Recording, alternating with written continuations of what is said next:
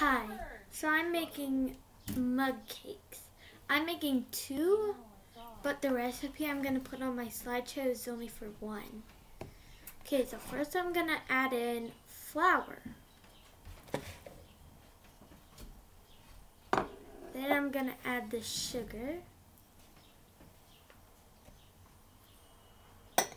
And then the cocoa powder.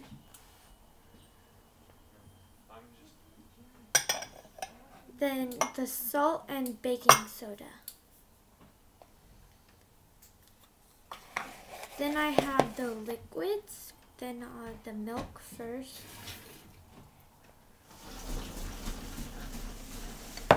The canola, canola oil.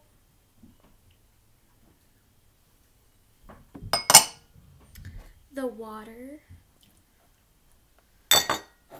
and the vanilla extract.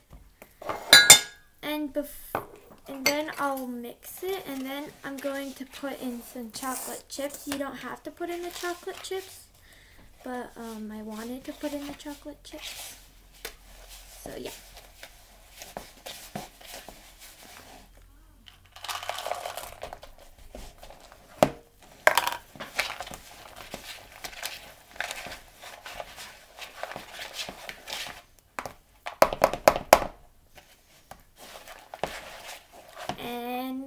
Um, then I have to put them in there.